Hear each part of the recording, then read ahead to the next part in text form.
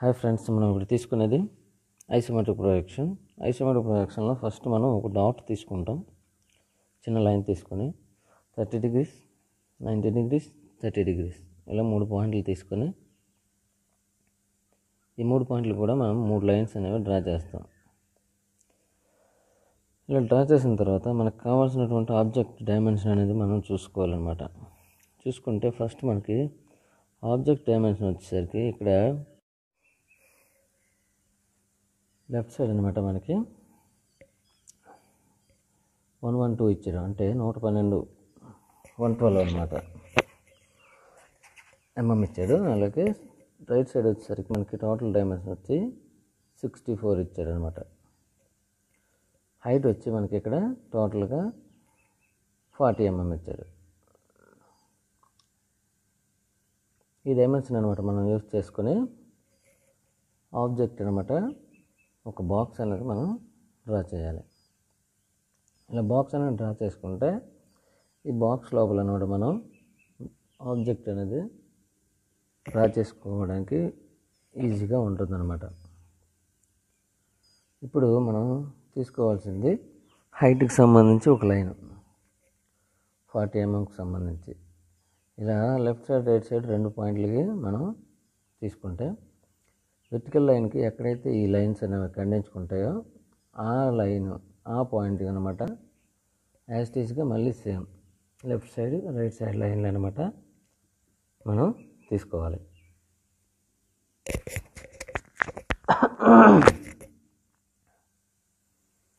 ఇప్పుడు మనకి బాక్స్ అనేది ఇక్కడ కంప్లీట్ అయిపోయింది. ఎక్సెస్ లైన్స్ అరేంజ్ చేసుకుని మనం బాక్స్ అనేది చూసుకుంటే ఫస్ట్ మనకి ఆబ్జెక్ట్లో ఫస్ట్ క్రింద నుంచి మనం స్టార్ట్ చేసుకుంటే ఎయిట్ ఎంఎంకి ఫస్ట్ అనమాట ఆబ్జెక్ట్లో కట్ అయింది. ఎయిట్ ఎంఎం అనమాట మనకి సైడ్లో ఉంది అంటే రైట్ సైడ్లో ఉంది లెఫ్ట్ సైడ్లో మనకి కట్ అయింది. ఈ కట్ అయిన పాయింట్కి రెండు లైన్స్ అనేవి రెండు సైడ్లు కూడా మనం తీసుకోవాలి ఇక్కడ. తీసుకుంటే ఆ తర్వాత మనం బేస్ అనమాట మనకి ఎయిట్ ఎంఎం హైట్లో టోటల్గా మనకి ఇక్కడ కట్ అయింది కాబట్టి నాలుగు సైడ్లు కూడా మనం ఇలా లైన్స్ అనేవి తీసుకోవాలి. తీసుకుంటే మనకి ఈజీగా ఆబ్జెక్ట్ అనేది డ్రా అవుతుంది. ఇప్పుడు మనం చూద్దాం. ఫస్ట్ మనకి ఇక్కడ పైనుంచి ఆబ్జెక్ట్ అనమాట రావాలి. ఎందుకంటే క్రింద అనమాట బేస్ అనేది తక్కువ ఉంది కాబట్టి పైనుంచి మనకి ఇక్కడ సెంటర్ పాయింట్ తీసుకోవాలన్నమాట. సెంటర్ పాయింట్ ఎంత అనుకుంటే ఇక్కడ మనకి వన్ వన్ టూ అనమాట వన్ వన్ టూ అంటూ మనకి ఇక్కడ ఫిఫ్టీ సిక్స్. ఫిఫ్టీ సిక్స్కి ఓ పాయింట్ తీసుకొని ఆ పాయింట్ అనమాట మనకి right side seven point five left side seven point five. రెండు పాయింట్లు అనమాట తీసుకొని ఈ రెండు పాయింట్లకు కూడా మనకి రైట్ సైడ్ లైన్ బేస్ చేసుకున్నాం అనమాట మనం. లైన్స్ అనేది తీసుకోవాలి. అయితే ఇక్కడ మనకి ట్వంటీ ఎయిట్ ఎంఎంలో ఒక పాయింట్ అనేది కట్ అయింది కాబట్టి ఈ ట్వంటీ ఎయిట్ ఎంఎంకి ఒక పాయింట్ మనకి రైట్ సైడ్ లైన్లో తీసుకొని ఒక లైన్ అనేది తీసుకున్నాం. ఇప్పుడు సెంటర్ పాయింట్ నుంచి మనం తీసుకున్న సెవెన్ పాయింట్ ఫైవ్కి ఒక లైను అలాగే ఇంకో సెవెన్ పాయింట్ ఫైవ్కి ఒక లైన్ తీసుకొని ఈ రెండు పాయింట్లు ఎక్కడైతే మనం ట్వంటీ ఎయిట్ పాయింట్ ఖండించుకున్నాయో ఆ పాయింట్కి అనమాట అక్కడ నుంచి మనం క్రిందన బేస్ చేసుకుని ఒక స్ట్రైట్ లైన్ అనమాట తీసుకుంటే బేస్మెంట్ లైన్కి అనమాట అది యాడ్ అవుతుంది ఖండించుకుంటుంది. ఆ పాయింట్ నుంచి మనకి రైట్ సైడ్ లైన్ బేస్ చేసుకుని ఒక లైన్ అనేది తీసుకుంటే ఆ పాయింట్కి అక్కడ నుంచి మనకి ఎక్కడైతే ఖండించుకుందో ఆ పాయింట్ నుంచి అనమాట ఫార్టీ ఎయిట్ పాయింట్కి ఒకటి పాయింట్ తీసుకుంటాం ఫార్టీ ఎయిట్ ఎంఎంకి. ఇప్పుడు ఫార్టీ ఎయిట్ ఎంఎం నుంచి మనం లెఫ్ట్ సైడ్ లైన్ బేస్ చేసుకుని ఇక్కడ ఫిఫ్టీన్ ఎంఎం పాయింట్ అనమాట మనం తీసుకోవాలి. ఫిఫ్టీన్ ఎంఎం పాయింట్ నుంచి పైన మనకి కలిపినటువంటి ట్వంటీ ఎయిట్ పాయింట్ అనమాట ఉంది కదా. ఆ పాయింట్కి మనం ఇలా ట్యాపర్గా లైన్స్ అనేవి తీసుకుంటే మనకు కావాల్సినటువంటి ఆబ్జెక్ట్ పైన ఇది అనేది వచ్చింది మనకి. ఇప్పుడు మనకి ఆబ్జెక్ట్ చూసుకుంటే ఇక్కడ థర్టీ టూ పాయింట్ అనమాట అంటే సిక్స్టీ ఫోర్కి సెంటర్ పాయింట్ థర్టీ టూ ఇలా మనం పాయింట్ తీసుకొని ఈ పాయింట్ అనమాట మనం లెఫ్ట్ సైడ్ లైన్ బేస్ చేసుకొని ఒక లైన్ అనేది తీసుకోవాలి. తీసుకుంటే మనకి బేస్లో మనకు కట్ అయినటువంటి పాయింట్ అనేది వస్తుందన్నమాట ఇక్కడ. ఇప్పుడు మనం ఏం చేయాలంటే ఈ రెండు పాయింట్ల నుంచి మనకి హైట్ ఎయిట్ ఎంఎంలో మనకి కట్ అయింది. ఆ పాయింట్ కనబడ మనం కటింగ్ లైన్ అనేది అక్కడ కట్ చేసినటువంటి పాయింట్కి రెండు లైన్స్ అనేవి తీసుకోవాలి. అయితే ఇక్కడ మనం చూసుకుంటే బేస్లో మనకి రైట్ సైడ్లో థర్టీ సిక్స్ లెఫ్ట్ సైడ్లో థర్టీ సిక్స్ ఇచ్చాడు. ఈ రెండు పాయింట్లు మనం ఇక్కడ థర్టీ సిక్స్ పాయింట్ అనమాట తీసుకొని స్ట్రైట్ లైన్ బేస్ చేసుకొని మనకి రెండు పాయింట్లకి రెండు లైన్స్ అనేవి తీసుకోవాలి. ఎక్కడైతే మనకి ఈ పాయింట్స్ అనేవి ఖండించుకున్నాయో అది లెఫ్ట్ సైడ్ పాయింట్ నుంచి రైట్ సైడ్ పాయింట్ నుంచి ఖండించుకున్నవి పాయింట్కి లైన్ అనేది డ్రా చేయాలి మనం. అయితే ఇక్కడ లోపల కనబడ ట్వంటీ ఫోర్ ఎంఎం మనకి కట్ అయింది. ఈ ట్వంటీ ఫోర్ ఎంఎంకి ఒక పాయింట్ తీసుకొని ఈ ట్వంటీ ఫోర్ ఎంఎం నుంచి మనం ఒక స్ట్రైట్ లైన్ అనేది తీసుకోవాలి. అది లెఫ్ట్ సైడ్ రైట్ సైడ్ రెండు పాయింట్లు కూడా తీసుకొని మనకి ఎక్కడైతే మనకి థర్టీ సిక్స్ పాయింట్ అనేది వచ్చిందో ఆ పాయింట్ నుంచి మనం ఈ ట్వంటీ ఫోర్ పాయింట్కి కలవాలి. ఈ ట్వంటీ ఫోర్ పాయింట్ నుంచి మనకి ఇక్కడ ఎక్కడైతే మనకి చూస్తే ఆబ్జెక్ట్లో కనిపించేటట్టుగా ట్యాపర్గా కండ కట్ అయిందో ఆ పాయింట్ నుంచి అనమాట మనం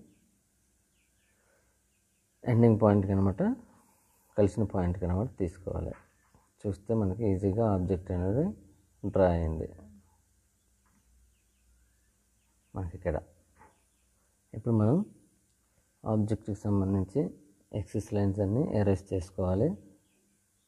ఎరేజ్ చేసుకుంటే ఆబ్జెక్ట్ అనేది మనకి ఇలా కనిపిస్తుంది. దీన్ని మనం డార్క్ చేయాలన్నమాట ఆబ్జెక్ట్ని డార్క్ చేసుకుంటే మనకి ఆబ్జెక్ట్ అనమాట నీట్గా కనబడుతుంది. డైమ్ నెక్స్ట్ అనమాట మనం డైమెన్షన్స్కి వీలుగా ఆబ్జెక్ట్ అనేది ఉంటుంది. మనకు కావాల్సినటువంటి డైమెన్షన్ అనేది మనకి కరెక్ట్గా డ్రా చేసుకుంటే ఆబ్జెక్ట్ కంప్లీట్ అయిపోతుంది అనమాట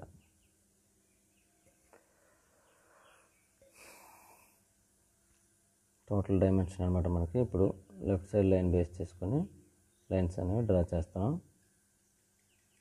మనకి కంప్లీట్ అయిపోయినట్టే ఆబ్జెక్ట్ అనేది. ట్యాపర్ లైన్ అనేది ఇప్పుడు నెక్స్ట్ బేస్ చేసుకొని ట్యాపర్ లైన్ తీసుకుంటాం. స్ట్రైట్ లైన్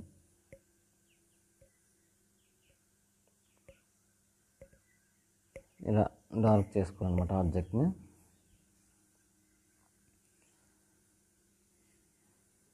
ఇప్పుడు మనం ఆబ్జెక్ట్ అనమాట డార్క్ చేసుకున్న తర్వాత డైమెన్షన్స్ అనేవి ప్రజెంట్ చేయాలి. డైమెన్షన్స్ అనేవి ప్రజెంట్ చేస్తే ఆబ్జెక్ట్ అనేది మనకు కంప్లీట్ అయిపోయినట్టే. డైమెన్షన్స్ అనేవి ఎప్పుడు కానీ ప్రజెంట్ చేసేటప్పుడు మనం ఆబ్జెక్ట్లో చూసుకున్న విధంగా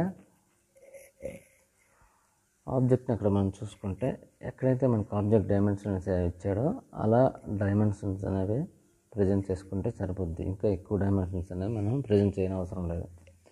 టోటల్ డైమెన్షన్ మేజర్ డైమెన్షన్ అది మైనర్ డైమెన్షన్ అక్కడ మనకి ఇచ్చిన డైమెన్షన్లో అలా ప్రజెంట్ చేసుకుంటే సరిపోద్ది. మనకి థర్టీ సిక్స్ ఇచ్చాడు లెఫ్ట్ సైడ్ థర్టీ సిక్స్ ఇచ్చాడు రైట్ సైడ్. ఈ రెండు పాయింట్లకి రెండు లైన్స్ అనేవి తీసుకున్నాం. అలాగే టోటల్ డైమెన్షన్ అనమాట టోటల్ డైమెన్షన్ వచ్చేసరికి మనకి ఇక్కడ వన్ ట్వెల్వ్ నూట పన్నెండు అనమాట ఇలా తీసుకొని మనకి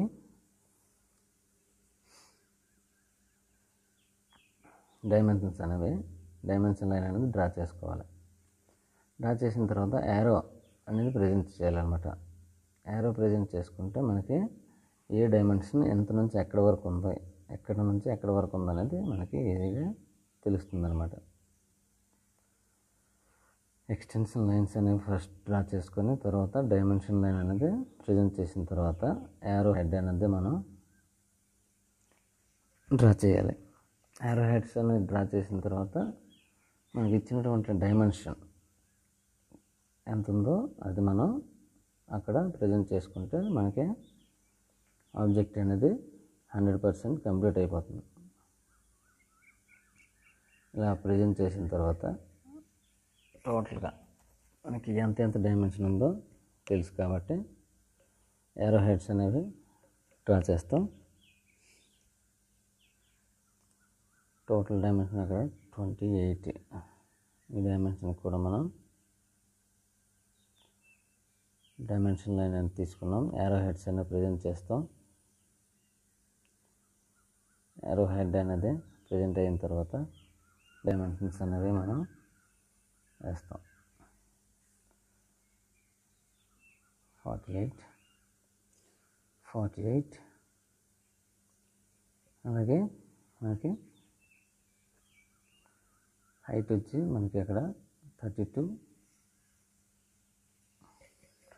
fifteen twenty eight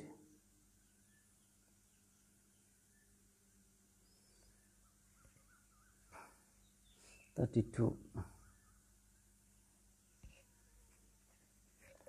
ఇలా మనం ఆబ్జెక్టివ్ డైమెన్షన్స్ అనేవి ప్రజెంట్ చేసుకుంటాం. ఫ్రెండ్స్ మీకు వీడియో నచ్చినట్లయితే సబ్స్క్రైబ్ చేయండి. మీ ఫ్రెండ్స్కి షేర్ చేయండి.